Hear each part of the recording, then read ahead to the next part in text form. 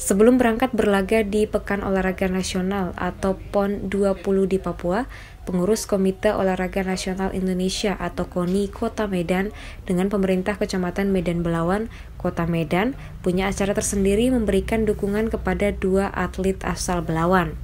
Secara khusus digelar acara syukuran kepada Tuhan Yang Maha Esa, sekaligus berdoa agar dua putra terbaik Belawan dapat meraih prestasi membanggakan bagi Provinsi Sumut. Dua putra terbaik Belawan yang akan berlaga yakni Arif Farozi 21 tahun yang akan bertanding di cabang olahraga futsal, sedangkan Gusti Bayu Handika 21 tahun akan bertanding di cabang olahraga karate.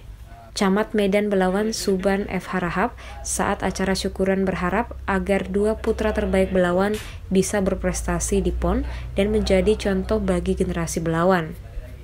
Sementara itu, Ketua Komite Olahraga Nasional Indonesia atau KONI Provinsi Sumut, Rangga Syaputra mengaku sangat bangga karena putra Belawan bisa ikut berlaga di PON 20 2021 Papua. Syukuran tersebut dihadiri Ketua Umum KONI Sumut Rangga Saputra, Sekretaris KONI Sumut Yuda Nugraha, Wakil Ketua Sepma Sinaga, Camat Belawan Suban M. Harahap, Lurah Belawan Bahagia Ali, dan Ranil Kapten Infanteri Amran, Kapten CPM Subsub Muhammad Arfai, dan staf Kecamatan Belawan. Ini ada adik kita, atlet dua orang eh, atas nama Mbak Arif sama Bayu. Mereka ini adalah atlet dari cabang karate dan cabang olahraga futsal mereka ini akan berangkat ke Pekan Olahraga Nasional tahun 2021 di Papua.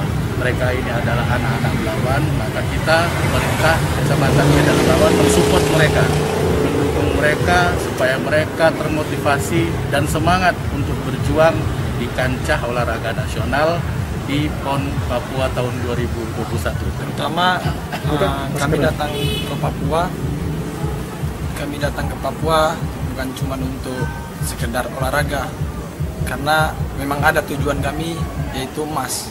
Kecamatan punya kecamatan Medan Belawan yang sudah ikut seleksi sampai ke tingkat provinsi.